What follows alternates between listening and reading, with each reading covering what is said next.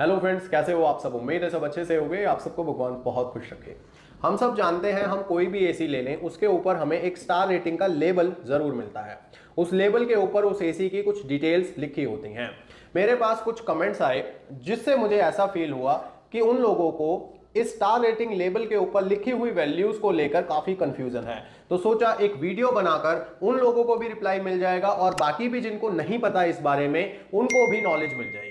तो इस वीडियो को आप पूरा देखिएगा, क्योंकि इस वीडियो में हम बहुत डिटेल से बात करेंगे स्टार रेटिंग लेबल के बारे में। तो आप सब जानते हैं, कोई भी एसी हो, उसके ऊपर three star four star five star इस तरह से एक लेबल लगा होता है।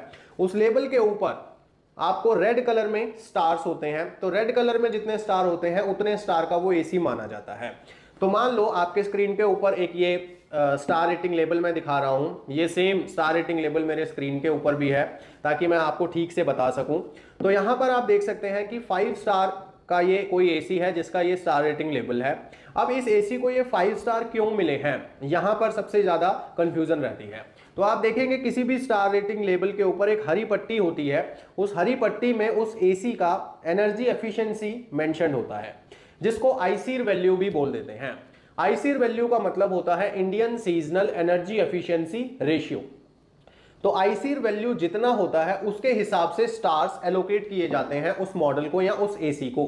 आईसीर वैल्यू कम रहेगा तो कम स्टार, ज़्यादा रहेगा तो ज़्यादा स्टार। ये आपके स्क्रीन के ऊपर एक चार्ट है।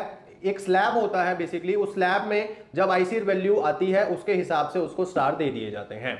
तो ऐसे में यहाँ पर उस आईसीर वैल्यू के नीचे उसकी वैलिडिटी डेट भी लिखी जाती है। यानी कि अगर आपने कोई फाइव स्टार एसी लिया है, वो एसी फाइव स्टार रेटिंग में कब तक बना रहेगा, उसकी वैलिडिटी डेट लिखी रहती है, यानी कि लेबल पीरियड लिखा रहता है, और वहाँ पर एंड डेट भी लिखी रहती है। तो ये जो स्टार रेटिंग लेबल है, ये पुराने किसी मॉडल का है हमारे पास, आप इसमें देख सकते हैं कि 30 जून 2022 डेट मेंशन है। तो इसके हिसाब से ये कह रहा है कि 30 जून 2022 तक इस एसी की आईसीर वैल्यू 4.73 है। इस आईसीर वैल्यू के हिसाब से ये एसी फाइव स्टार रेटिंग का माना जाएगा 30 जून 2022 तक। उसके बाद लिखा होता है अप्लायंस टाइप यानी कि जो एसी है हमारा, वो विंडो एसी है पोर्टेबल एसी है स्प्लिट एसी है, कौन सा एसी है, उसका टाइप लिखा रहता है। और अगर आर लिखा है आर का मतलब होता है रेजिडेंशियल एयर कंडीशनर उसके बाद स्लैश दे के विंडो या स्प्लिट लिखा हो सकता है। और ब्रांड का नाम वहाँ पर मेंशन होगा कि वो किस ब्रांड का एसी है। अब ये आप देख रहे हैं, ये एलजी ब्रांड का यहाँ पर मेंशन है। तो यानी कि ये एलजी ब्रांड का किसी एसी के ऊपर लगा हुआ स्टार रेटिंग लेबल है, जिसका पिक्चर हमारे पास है। अब उसके बाद उस एसी का मॉडल और ईयर लिखा हुआ है। यानी कि वो जो एसी है, उसका मॉडल नंबर क्या है टेक्निकल मॉडल नंबर क्या है, और वो एसी का ईयर कौन सा है? यानी कि मॉडल ईयर कौन सा है? तो वो सारी चीज़ें भी मेंशन होती हैं। अब मान लो जैसे ये है, जो मॉडल यहाँ पर लिखा है, ये मॉडल 2021 में LG ने लॉन्च किया होगा या 21 का ये मॉडल है तो यहाँ पर ये हमें दर्शा रहा है। अब आती है मेन कंफ्यूजन वाली तीन टर्म कूलिंग कैपेसिटी ब्रैकेट में 100 परसेंट लिखा हुआ है और आगे लिखा है 5000 वॉट अब वॉट जो लिखा है, यहीं पर सारी कंफ्यूजन हो जाती है।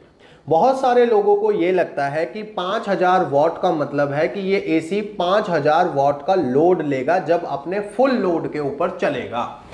और उसके लिए उनको ये लगता है कि हमें अब अपने इलेक्ट्रिसिटी मीटर का जो लोड है, वो अप टू 5 के भी बढ़वाना पड़ सकता है।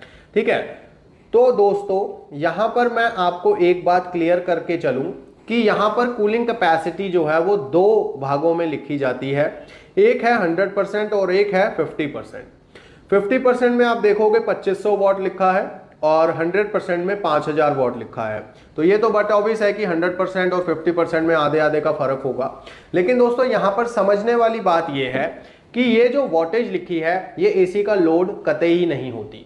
आपको या बहुत सारे ऐसे लोग हैं जिनको ऐसा लगता है तो अगर आपको ऐसा लगता है तो अपने दिमाग से प्लीज़ ये बात निकाल दीजिए। क्योंकि ये जो वोल्टेज लिखी है, ये एसी की लोड या बिजली खपत को नहीं दर्शा रही है। ये दर्शाती है एसी कितनी क्षमता से कूलिंग कर सकता है। यानी कि वो एसी कितने टन का है, उस टन को वॉट में कन्वर्ट करके यहाँ पर लिखा जाता है। अब टन को वॉट में कैसे कन्वर्ट किया जाता है, उसके लिए आप मेरा ये वीडियो देख सकते हैं। इसमें मैंने बहुत डिटेल से बताया हुआ है कि एक टन को हम किलोवाट में या वॉट में कैसे बदल सकते हैं। ठीक है?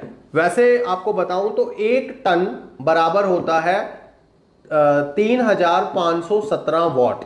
किलोवाट में मानोगे तो 3.5 किलोवाट का एक टन होता है। तो यहाँ पर टनेज भी लिखी जा सकती है, लेकिन टनेज ना लिखकर यहाँ पर वॉटेज में कूलिंग कैपेसिटी लिखी जाती है। और जैसा कि इसके नाम से ही पता लग रहा है कूलिंग कैपेसिटी यानी कि ठंडा करने की क्षमता। तो ये, इसको आप मतलब इलेक्ट्रिसिटी कंजम्पशन या लोड से जोड़कर बिल्कुल भी मत देखें। ऐसे बहुत सारे कमेंट आते हैं, इसलिए वीडियो बना रहा हूँ मैं। तो होप सो ये बात आपको क्लियर हो गई होगी। अब यहाँ पर लिखा हुआ है इलेक्ट्रिसिटी कंजम्पशन अब ये जो इलेक्ट्रिसिटी कंजम्पशन यहाँ पर लिखा हुआ है, उसके आगे लिखा रहता है, अब मान लो जैसे ये एक लेबल है, इस पर लिखा है 818.81 यूनिट्स पर ईयर तो यहाँ पर हमें यह समझ आ रहा है कि यहाँ पर यूनिट्स की बात हो रही है और पर ईयर का मतलब सालाना, कि ये एसी एक साल में इतने यूनिट्स कंज्यूम करेगा। सबसे पहली तो बात यह है कि कई लोगों को यह भी लगता है कि ये जो यूनिट्स लिखे हुए हैं, ये यूनिट्स नहीं है, ये एसी का लोड है। तो आपको क्लियर करना चाहूँगा कि ये लोड नहीं है एसी का, ये यूनिट्स हैं जो वो कंज्यूम करेगा, ठीक है? और यहाँ पर लिखा भी हुआ है बहुत साफ़ साफ़ यूनिट्स पर ईयर अब यहाँ पर भी बहुत कंफ्यूजन है कि यहाँ पर जो एक साल के यूनिट्स लिख देती है इस लेबल के ऊपर कंपनी तो वो उससे तो कहीं ज़्यादा यूनिट खा जाता है हमारा एसी क्योंकि ये तो एक साल में लिखे हुए हैं 800 यूनिट मान लो। और हमारा एसी तो मान लो, एक महीने में ही खा जाएगा इतने यूनिट 200 यूनिट भी खा जाएगा, ज़्यादा भी खा जाएगा। तो बेसिकली जो बीई डिपार्टमेंट e e है, उन्होंने एक पैरामीटर सेट किया हुआ है एसी को टेस्ट करने का। उन टेस्ट कंडीशंस में किसी भी एसी को टेस्ट किया जाता है 1600 घंटे चलाकर। अलग अलग तापमान के ऊपर उस एसी की टेस्टिंग की जाती है, जो भी standards bureau of energy efficiency ने तय किए हुए हैं किसी एसी को टेस्ट करने के लिए। उस टेस्टिंग के दौरान वो एसी कितनी बिजली की खपत करता है, उस खपत को यहाँ पर लिख दिया जाता है। ये खपत बिल्कुल भी ये नहीं दर्शाती कि ये एसी आपके घर में भी इतनी ही बिजली खाएगा। ये खपत ये नहीं दर्शाती कि ये एसी को आप साल भर चलाएँगे तो सिर्फ़ इतनी ही बिजली खाएगा। ये सिर्फ़ एक पैमाना है आईसीर वैल्यू को निकालने का या आईसीर वैल्यू को नापने का, जिसके अकॉर्डिंग उस एसी को स्टार्स एलोकेट होते हैं। ठीक है? आपका एसी यकीनन इससे कहीं ज़्यादा बिजली खाता होगा या फिर इससे कम भी खा सकता है। अगर आपके रूम के कंडीशंस कुछ ऐसे हैं तो हो सकता है इससे भी कम बिजली खाए आपका एसी या आप इतना चलाएँ ही ना एसी तो फिर वो कम ही खाएगा। तो ऐसे में ये चीज़ बहुत कंफ्यूजन में रहती है लोगों के। तो सबसे पहली बात एनर्जी कंजम्पशन जो यहाँ पर लिखी है, वो वॉट में नहीं होती है, वो यूनिट्स होते हैं। अच्छा ये भी चीज़ एक आपको बता दूँ, अगर आप कोई पुराना एसी देखेंगे तो पुराने एसी जो होते थे, उनके अंदर जो पावर कंजम्पशन या इलेक्ट्रिसिटी कंजम्पशन लिखा रहता था लेबल के ऊपर, उसमें वॉट लिखा होता था, उस एसी का लोड लिखा होता था, ठीक है? लेकिन अब जो कई सालों से ये लेबल आ रहे हैं, इनके ऊपर वो लोड नहीं लिखते हैं, अब वो यूनिट्स लिख देते हैं सीधे। उसके बाद कंप्रेसर टाइप लिखा रहता है। कंप्रेसर टाइप का मतलब यह है कि क्या वो एसी फिक्स स्पीड पर चलने वाला है?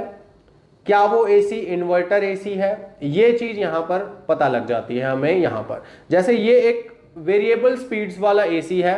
वेरिएबल स्पीड्स का मतलब हो गया कि इसमें जो कंप्रेसर लगा हुआ है, वो अलग अलग स्पीड्स के ऊपर काम कर सकता है। तो जिसका मतलब है कि ये एक इन्वर्टर एसी है। अगर यहाँ पर सिंगल स्पीड लिखा हो तो आप समझ जाइए कि ये एसी फिक्स स्पीड वाला एसी है, या फिर नॉन इन्वर्टर एसी है। तो यानी कि लेबल देख के ही हम उस एसी के बारे में सब कुछ जान सकते हैं। उसके बाद लास्ट में लिखा होता है हीट पंप। अब ये हीट पंप क्या होता है? हीट पंप दोस्तों वो होता है, इसमें ज़्यादातर आपको नो लिखा मिलेगा, क्योंकि हमारे इंडिया में ज़्यादातर जो एसी सेल होते हैं या बिकते हैं या लोग खरीदते हैं, वो कूलिंग ओनली एसी होते हैं यानी कि यानी कि सिर्फ़ ठंडक देने वाले एसी ही हम ज़्यादातर खरीदते हैं।